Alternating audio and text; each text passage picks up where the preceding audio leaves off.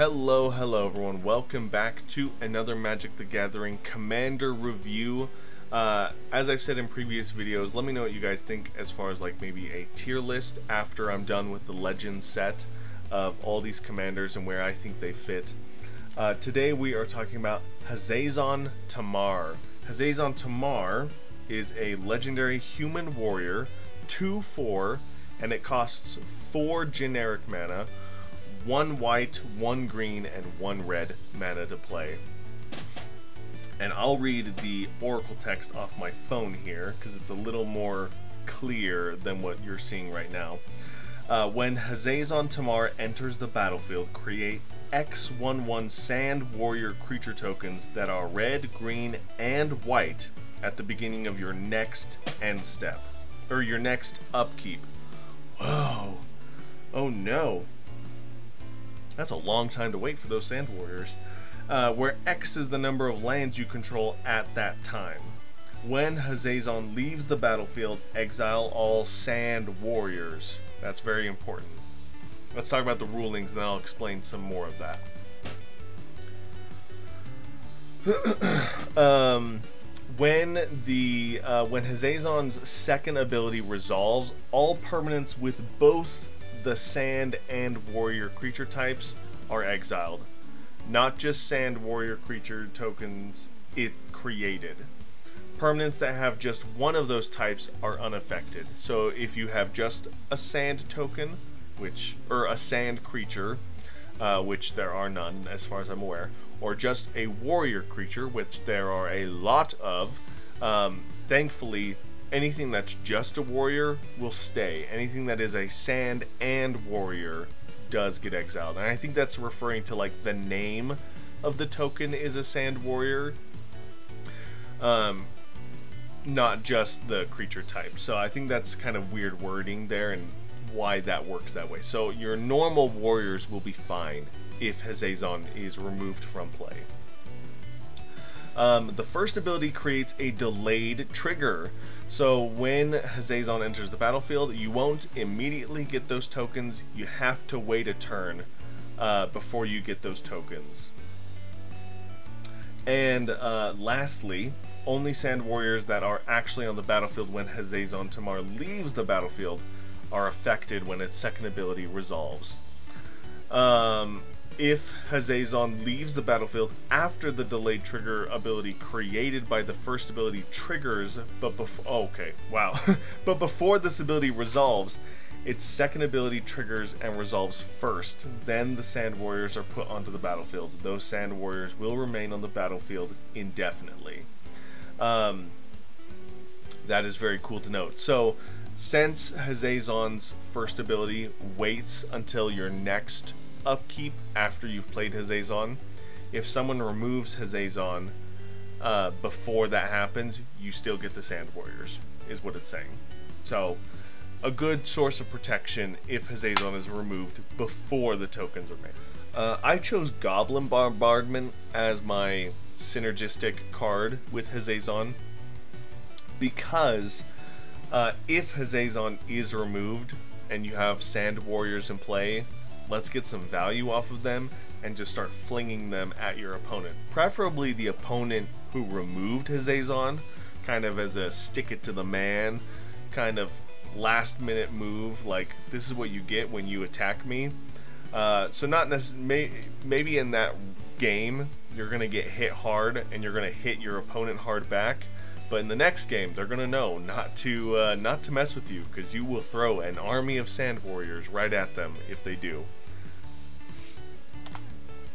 Uh, the deck that I am going to have Hazezon in is a Land Matters deck, and uh, because of the variety of lands that Wizards has printed over the years, this is going to specifically be a Desert Land Matters deck. So there'll be some landfall in the deck, there'll be some Desert Matter cards in the deck, uh, actually as many Desert Matter cards as possible. Um, so Hour of Promise is a Desert Matters card. You're going to be able to search your library for lands, and then if you control deserts, you get to make zombie tokens. Uh, Nahiri's Lithoforming Deserts uh, can have abilities in play, but they also will give you benefits if they're in the graveyard. So sacrificing all of your deserts is good, and then you'll be able to get more deserts out of your library, plus other cards to play with Nahiri's Lithoforming, which is really fun. Uh, and then, of course, Desert of the True, just one of the many deserts in these colors that you're going to be putting in this deck. If you wanted to focus just on the tokens of this deck and really go hard on filling the board quickly and then dealing a lot of damage, uh, Awaken the Woods is a great card to play before playing Hazezon because these are land dryad lands and so they will count towards your production of uh, making sand warriors so you want to play that get a bunch of lands in play and then make even more land dryads and then you get anointed procession into play any token doubling effect. This is just the one that I picked. When then, when Hazezon makes the tokens, it'll double the amount of tokens that are made. And Roar of Resistance will give all those creatures haste.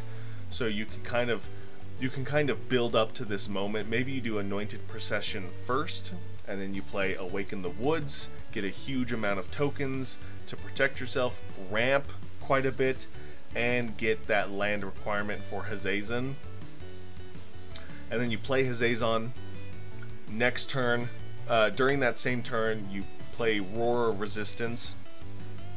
And then next turn, Hazezon triggers, makes a ton of tokens, and then all those tokens are doubled because of Anointed Procession. They all have haste because of Roar of Resistance's first ability. You swing out, you win the game in one attack. Really fun. And lastly, you can do a warrior tribe in this deck. There are a lot, uh, there are a lot of warrior support cards like you're looking at now, but uh, there are also a lot of ways to make warrior tokens outside of the Sand Warriors with Hazezon in these colors. So Kargan and uh, Bramblewood and Herald of Dromoka are just like warrior lords, whether they give them counters, base uh, power toughness boost or give them keywords to play with. So great ways to strengthen your board. And then there are of course tons of ways to make warrior tokens in these colors. So I have a lot of fun with that. A lot of token synergy, a lot of token strategy uh, in both of these, well in all of these versions of this deck, but in different styles, which I appreciate. That's what makes this a lot of fun, is it's warrior themed, but in different variations, depending on how you want to play it. So that's going to be Hazezon Tamar. Um, Hazezon can be very explosive if you play with him correctly. Like the token specific strategy that I was talking about, you could be extremely explosive if you pace yourself, you plan ahead, uh, play with a lot of defenses to make sure that your threats aren't going to be targeted by your opponents um, and then go for a huge swing and win the game in one fell swoop. With that said, Hazezon has no form of base protection, and because of the delayed trigger, um, Hazezon is very fragile. So you want to be careful with how you play Hazezon.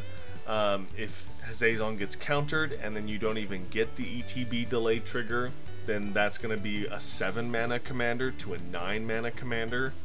So be careful with Hazezon. As soon as people realize who you're playing with and what it does, you will have a target on your back. Um, and obviously, 9 mana the second time to play is a lot. With that said, you are in green, so you can ramp really well in this deck and really quickly in these colors. So have a lot of fun with Hazezon. I'm excited to play with it, and uh, thank you guys so much for watching. As always, I'll see you in the next one. Bye!